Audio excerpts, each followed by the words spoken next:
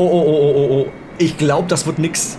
Oh, jetzt erstmal Vollgas durchstarten, Augen zu und durch. Das geht, das klappt. Wir, wir schaffen das, wir schaffen das. Das geht schon, das ist alles in Ordnung, Leute. Ist alles okay. Ja, es, ich habe alles unter Kontrolle. Hallo meine lieben Gamer, heute will ich euch mal ein paar Lande-Challenges aus dem Microsoft Flight Simulator zeigen. Denn es gibt abseits von dem Hauptspiel, wo ihr frei herumfliegen könnt, auch ähm, entsprechende Spielmodi, wo ihr verschiedene Landungen meistern müsst und bestimmte Vorgaben. Und hier haben wir zum Beispiel jetzt die Lande-Challenges, ähm, wo es, ich sage jetzt mal, herausforderndere Landungen gibt, die ihr meistern müsst und wo ihr dafür Punkte bekommt. Und das ist natürlich schon irgendwo reizvoll, voll, natürlich für die Leute auch, die sich denken, ja, ähm, wie viel Spiel steckt denn in dem Flight Simulator? Denn der Flight Simulator hat im Grunde nur sehr wenig Spielelemente, also echte Spielelemente. Und diese Lande-Challenges gehören zumindest dazu. Da kann man zumindest innerhalb von ein paar Minuten eine, ja, eine Herausforderung meistern, die, ähm, ja, auf die ihr dann vielleicht sogar ein bisschen stolz sein könnt, weil diese Lande-Challenges sind nicht gerade sehr einfach. Wir sind gerade in einer Cessna Citation unterwegs, einem kleinen Jet, einem Privatjet, und fliegen gerade ähm, Jackson an in den USA. Und das Ganze bei ja, einem schönen Winterwetter. Allerdings haben wir, man sieht es schon, der Flieger kämpft so ein bisschen. Man, äh, es ist Seitenwind. Es ist so leichter Querwind äh, dabei. Das heißt, da muss ich immer gegenhalten und super sachte am Steuer sein. Und nicht nur, ja genau, und ich kämpfe hier gerade mit Stall, also mit einem Strömungsabriss. Ich bin zu langsam. Ich habe das Ding vorher schon einmal äh, geflogen, komplett gescheitert, weil ich zu schnell war und bin fett über die Landebahn drüber geschossen. Jetzt äh, bin ich extra langsam, weil 110 Knoten ist die Landegeschwindigkeit. Da bin ich ein bisschen drunter gerade mit 108, 109. Muss ich ein bisschen aufpassen. Immer ganz knapp am, am Strömungsabriss dran, aber ich werde es trotzdem versuchen, das Ding da runter zu kriegen.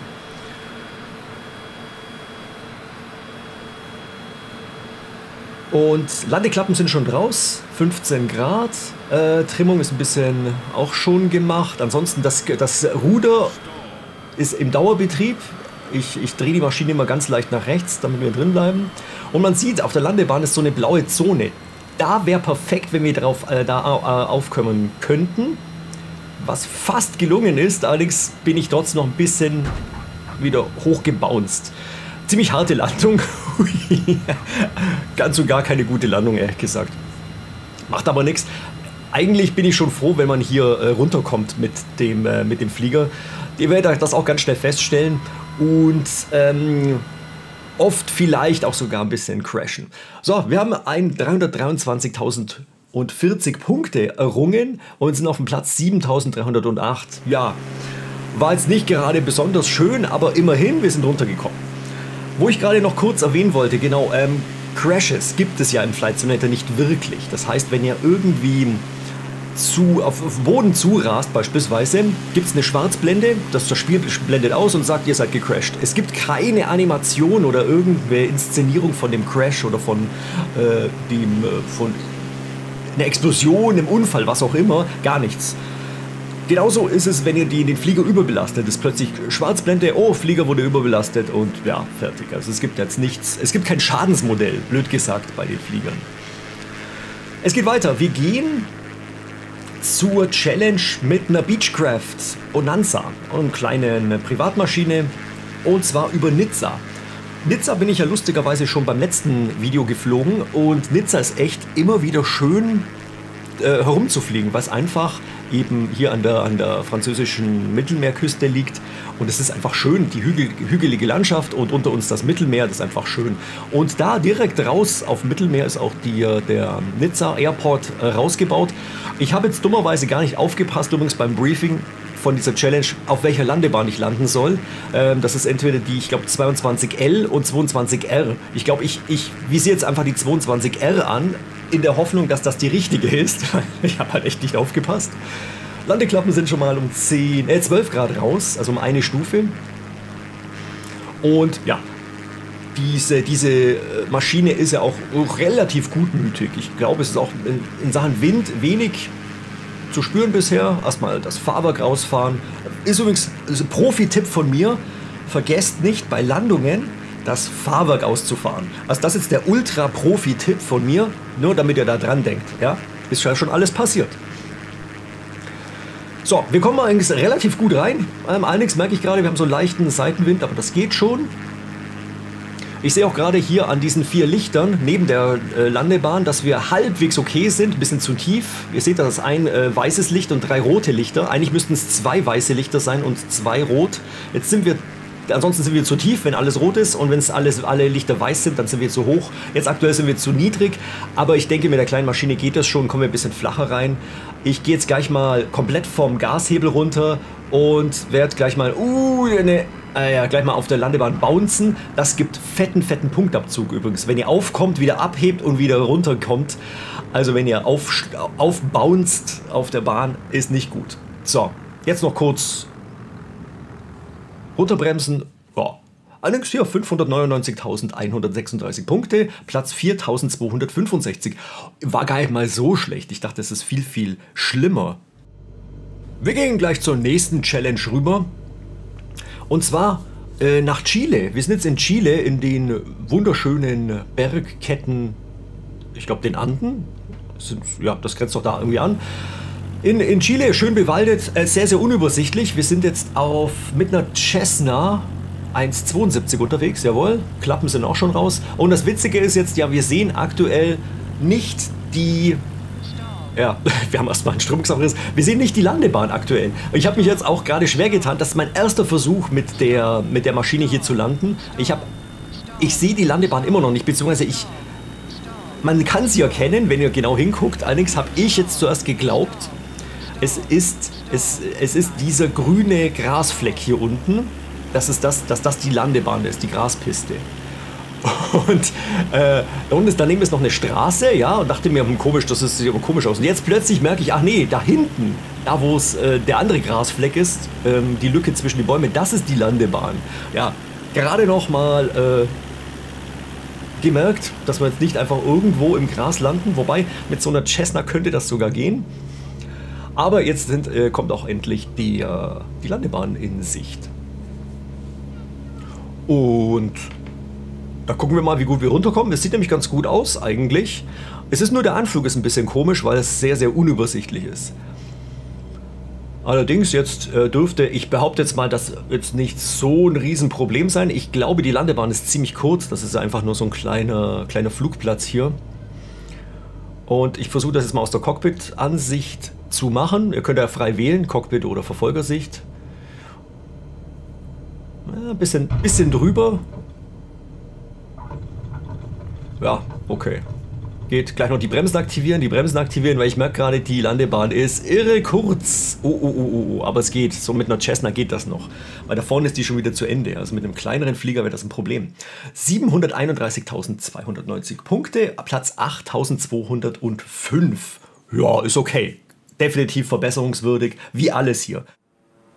Ich habe übrigens diese ganzen Challenges ähm, aufgenommen, entweder beim ersten Versuch oder beim zweiten Versuch. Also ich habe da nicht groß geübt und da ist erhebliches Verbesserungspotenzial dabei.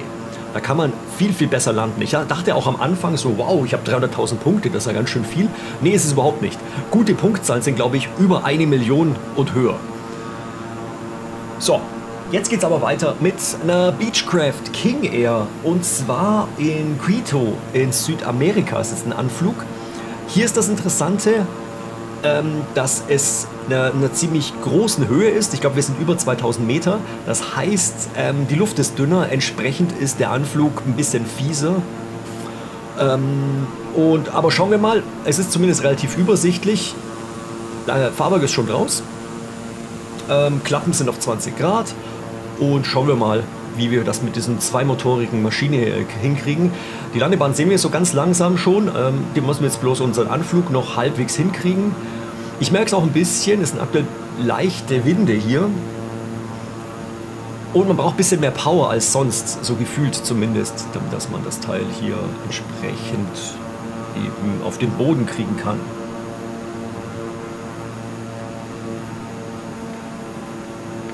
So, jetzt ganz fies kommen hier ziemliche Seitenwinde, vor allen Dingen jetzt hier über dem Fluss, merke ich das. Da geht mir die, die Maschine komplett mit dem Ruder wirklich fies, also ziemlich, ziemlich querstellen. Schau das mal an, wie ich, ich fliege komplett quer fast irgendwie. Das ist echt also absolut absurd irgendwie. Diese Seitenwinde, diese fiesen, die hören, oder diese Scherwinde, die hören jetzt gleich auf. Kurz über dem Boden ist das, ist das wieder weg, aber man muss eben diese Maschine quer, also gleich quer anstellen, damit man irgendwie im Anflug drin bleibt. Und das Ganze wird jetzt auch keine schöne Landung. Es wird, nee, es ist, nee, ich bin auch zu schnell fast. Und ich komme im falschen Winkel eigentlich an. Nichtsdestotrotz komme ich auf und äh, halbwegs sicher. Ich glaube, Applaus von meinen Passagieren gibt es dafür jetzt nicht, aber was soll's, ist ja auch, äh, ist okay. Hauptsache, ich kriege noch ein paar Punkte aus dieser Challenge raus. Trotzdem muss ich sagen, an sich echt schön, landschaftlich auch wieder wunderschön das Ganze. So, was haben wir denn? 340.170 Punkte und Platz 2168. Mensch, jetzt, jetzt steigern wir uns aber mal so richtig. Und damit kommen wir zur letzten Challenge heute und eigentlich der äh, interessantesten, würde ich mal sagen. Boeing 747-8. Anflug auf den JFK Airport in New York. Ganz, ganz klassisch. Große Maschine, großer Airport und hinten kommt noch schön noch äh, eine schöne Wetterfront auf uns zu, die uns ein bisschen natürlich äh, entgegen äh, den Wind entgegen schwingt. Übrigens sieht echt unglaublich schön aus, das Ganze. Ich wollte noch mal kurz erwähnen, wie schön die Optik und überhaupt die Witterungen dargestellt werden im, im Flight Simulator. Es, ist un, es sieht unglaublich gut aus einfach. Das nur mal kurz am Rande, das erwähne ich auch in den, meinen anderen Videos ja schon. Wir haben bereits 20 Grad Klappen raus äh, und wir vor uns, wir haben schon den geraden Anflug. Wir müssen jetzt auch keinen, keinen Endanflug machen oder, oder Queranflug oder was auch immer. Es ist, wir sind bereits quasi auf der Final-Route schon dran. Und so eine Boeing ähm, ist ganz schön träge. Das, ähm, die mag keine abrupten Manöver, was jetzt wenig verwundert, aber äh, nichtsdestotrotz will ich das gesagt haben, weil ähm, vor allen Dingen so ein großer Flieger muss ein bisschen behutsam gesteuert werden und er braucht ein bisschen, bis er reagiert. Ich als, äh, genau, das ist auch noch eine Frage, die öfter kam. Ich steuere das Ganze mit einem Flightstick. Und zwar habe ich hier von Thrustmaster den äh, T-Flight HOTAS. Das ist so ungefähr, ungefähr, ich glaube, der günstigste HOTAS ähm, Flightstick, den ihr euch besorgen könnt. Und ja, mit dem funktioniert das relativ gut. Also, den kriegt ihr auch relativ günstig. Habe ich unten in der Videobeschreibung drin. Und mit dem ge gehen auch die Steuereingaben recht gut. Und zwar also eben auch die Rudereingaben und natürlich der, mit dem Schubregler. Das ist, das ist schon alles okay. Maus und Tastatur würde ich sowieso nicht benutzen beim Flight Simulator. Und Controller ist bei so, bei so einer Lande-Challenge auch schon ziemlich fies. Da müsst ihr ein bisschen die Empfindlichkeit runterstellen ansonsten. Aber ist egal. Wir sind schon mal in Anflug und ich merke gerade, wir kriegen, ich kriege gerade eine kleine Stallwarnung und ich habe ein ganz kleines Problem. Oh, oh, oh, oh, wir sind ganz schön tief. Leute, wir sind ein bisschen tief. Oh, oh, oh, oh, oh, oh. Ich glaube, das wird nichts. Oh, jetzt erstmal Vollgas durchstarten, Augen zu und durch. Das geht, das klappt. Wir, wir, schaffen das, wir schaffen das. Das geht schon, das ist alles in Ordnung, Leute. Ist alles okay. Ja, es, ich habe alles unter Kontrolle. Es gibt absolut keinen Grund zur Panik. Ich habe alles unter Kontrolle. Das ist, das gehört so. Ja, das ist der, den, den Anflug macht man so. Ja, ich denke, meinen Passagieren hinten wird es schon allen schlecht werden in ihren Sitzen. Wahrscheinlich, oder wenn die schon wahrscheinlich nicht angestellt sind, werden die sowieso alle an der Decke oben hängen. Aber es ist alles in Ordnung. Es ist auch, äh, ja, ich habe den absolut klasse Anflug. Ich bin auch überhaupt nicht zu flach im Anflugwinkel. Nein, überhaupt nicht. Aber es ist eigentlich ein Wunder geschehen und ich bin tatsächlich schon über der, über der Landebahn ohne Schaden an der Maschine. Das ist echt ein Wunder. Und jetzt Genau, können wir schön landen, wobei schön ist auch, das ist auch nicht gerade schön, sondern das wird eine ziemlich schräge Landung. naja, also das wird jetzt auch nicht besonders schön. Oh, die Maschine schwankt, Störklappen raus und gut ist. Und ich halte es ja immer noch für ein mittleres Wunder, dass wir tatsächlich im Ganzen haben landen können, ohne dass uns irgendwie die komplette Maschine zerlegt hat. Ja, in diesem Sinne verabschiedet sich Ihr Kapitän und äh, freut sich, Sie wieder auf dem nächsten absolut sicheren Flug begrüßen zu dürfen. Lassen Sie gerne einen Daumen nach oben da und ein Abo. In diesem Sinne, bis zum nächsten Mal.